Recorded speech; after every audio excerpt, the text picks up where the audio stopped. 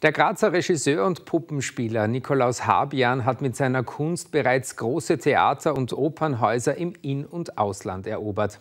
Seine ausdrucksstarken, selbstgemachten Puppen sind derzeit in der Kunsthalle Graz ausgestellt. Und in der Oper hat der Puppenzauberer gestern einen besonderen Liederabend gegeben. Mann und Frau im Boot sind ganz still. Musik von Schubert, Schumann, Brahms und Mahler und dazu Texte von Robert Walser. Eine besondere Mischung, die Nikolaus Habian mit seinen Puppen auf die Bühne bringt.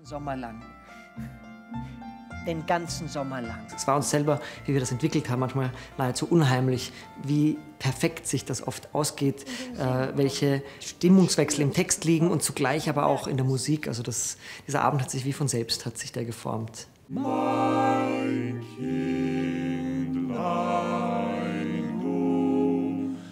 Die Osttiroler Musikbanda Franui ist ein, nach Eigendefinition, musikalisches Umspannwerk.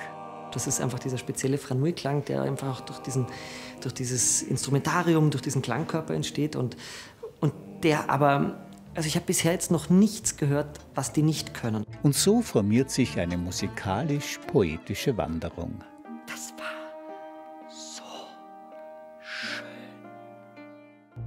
In der Kunsthalle Graz sind derzeit ausgewählte Puppen von Nikolaus Habian ausgestellt, die aus Theater- und Opernproduktionen stammen und stumm von den vielseitigen Erfolgsproduktionen erzählen. Ich finde es total schön, diese Figuren auch eben im nicht bespielten Zustand genau betrachten zu können und vielleicht auch wirklich so genau betrachten zu können, wie man sie auf der Bühne nie betrachten kann, weil sie ja nie stillhalten.